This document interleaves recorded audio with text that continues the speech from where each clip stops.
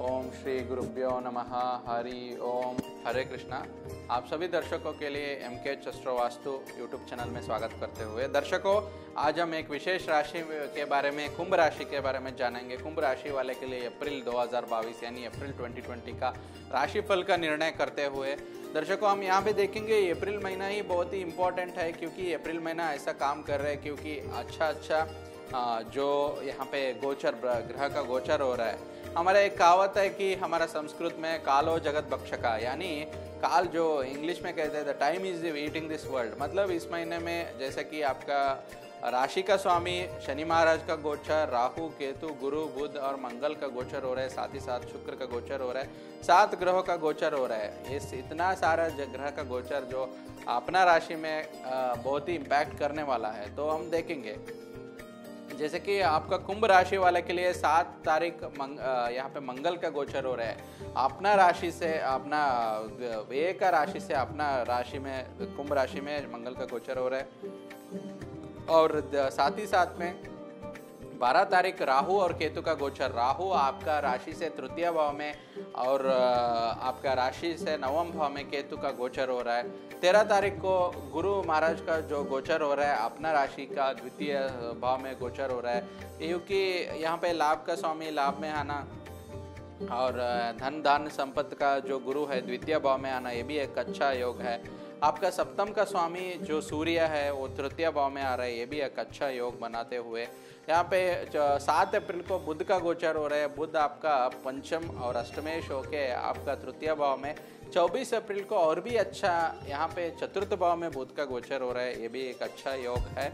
और 27 अप्रैल को शुक्र का गोचर जो है आपका चतुर्थ और भाग्य स्वामी होके उच्च भाव में गोचर हो रहा है। ही, एक बहुत ही बड़ा हम यहाँ पे फल निर्णय में लेंगे। यानी एक अच्छा योग। अट्ठाईस अप्रैल को शनि आपका शनि महाराज, आपका राशि का स्वामी राशि में आ रहे हैं। एक बहुत बड़ा योग है दर्शकों, क्योंकि देखो, राशि का स्वामी जब भी राशि का आता है, ये इस नॉर्मल सा योग कहते हैं। मगर आपको मकर और कुंभ वाले के लिए बड़ा योग है, क्योंकि शनि महाराज जो है, तीस साल में एक बार आता है। जो इतना बड़ा योग बन रहा है कि तीस साल बाद, जैसा कि अभी 2022 चल रहा है, इससे ठीक तीस साल पहले आपका राशि में, आपका राशि का स्वामी हुआ था। तो सो ये एक एक अच्छा योग बनते हुए एक, जो भी फल निर्णय में बहुत ही अच्छा योग यहाँ पे दे रहे हैं। तो हम देखते जा, देखते जाएँगे मंगल का, आपका तृतीय और यहाँ पे दशम का स्वामी होते हुए तृतीय आपका राशि में आ रहा है, ये भी अच्छा योग है बुद्ध का भी अच्छा योग है, सूर्य का भी अच्छा योग है।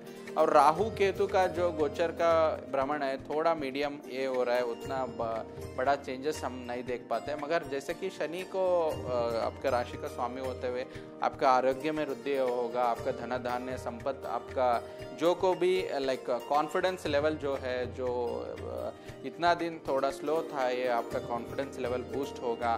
तो यहाँ पे जनरली टेक्निकली साढ़े ही भी बोलते हैं, मगर जब भी शनि अपना दो राशियों को एग्जामेशन दिया है, मकर और कुंभ के तौर पर तो शनि महाराज के लिए अच्छा है, क्योंकि हम किसी, किस को, जो कोई लोग है, कौन देखा है, ईश्वर ऐसा ही है, श्री कृष्ण ऐसा ही, राम जी ऐसा है, क्योंकि हमारा पुराण शास्त्र में उल्लेख है, ईश्वर का ऐसा जट यहाँ पे मुख है और उनका गले में सांप होता है, उनका सिर में गंगा माता है। एक विवरण है मतलब वो जो है काल्पनिक है, फिर भी हम मान के चलते हैं क्योंकि वहाँ पे ईश्वर का शक्ति है। मगर शनि महाराज का एक विशेषता ऐसा है कि ये पूरा समस्त समस्त सृष्टि ब्रह्मांड जो है, ये कर्म आधारित है मतलब कर्म के ऊपर निर्भर है। तो हम जा, जो कोई भी अच्छा काम करते हैं, जो कोई भी अच्छा कर्म करते हैं, उनके लिए शनि महात्मा का जो साढ़े साथी इफ़ेक्ट नहीं होता है। तो मतलब क्योंकि हमारा पूज्य आदरणीय प्रधानमंत्री जी का एक कुंडली देख लीजिए। उन उन लोगों का जैसा कि हमारा श्री नरेंद्र मोदी भाई का, उनका जैसा जो नरेंद्र मोदी जब भी हमारा देश का प्रधानमंत्री हुए थे तो वहाँ पे उस टाइम उनका साढ़े साथी चल रहे थे। अगर साढ़े साथी में हमारा साथ, हमारा दर्शकों, हमारा ऑफ़िस को आके पूछते रहते हैं गुरु जी हमारा साढ़े साथी चल रहे तो प्रॉब्लम होगा, प्रॉब्लम कैसा होगा? एक व्यक्ति प्रधानमंत्री बनता है साढ़े साथी में बोले तो। आपका अच्छा कर्म आपका साथ देगा तो चिंता ना करिए। जैसे कि हम यहाँ पे चार पाँच ग्रह का गोचर देखा है सो कुछ चिंता करने का बात नहीं है।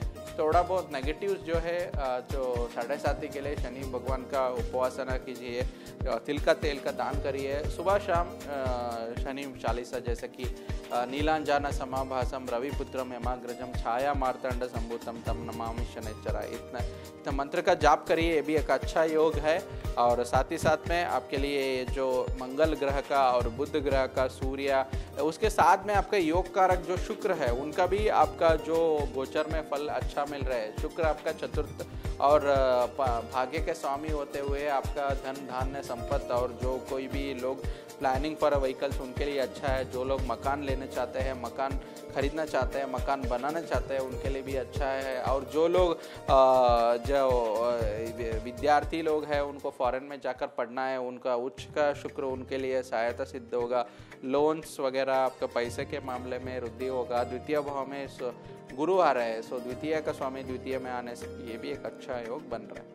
बस एक थोड़ा नवग्रह का ध्यान करिए कि, किस कितना कितना आपको टाइम होता है। नवग्रह को तीन बार आप रोटेट करके उनका मंत्र जाप करिए। हर एक नवग्रह का एक एक मंत्र होता है वो करिए। इस महीने के लिए उतना ही काफ़ी है। अच्छा रंग है आपके लिए हरा और नीला रंग अच्छा होता है और लकी नंबर्स होता है आपके लिए। वन और two these are the lucky numbers for Kumbh rashi. तो इतना बस आज के लिए इतना ही अपना वाणी को यहीं पे विराम देते हुए। तो ऐसे ही हमारे साथ जुड़े रहिए। हमारा पूर्ण वीडियो देखने के लिए धन्यवाद। हमारा वीडियो अच्छा लगे तो लाइक करिए, शेयर करिए और कमेंट बटन के ऊपर क्लिक करिए। आपको क्या कमेंट्स आता है तो क्या लगता है उसका कमेंट करिए और सब्सक्राइब के ऊपर क्लिक करिए।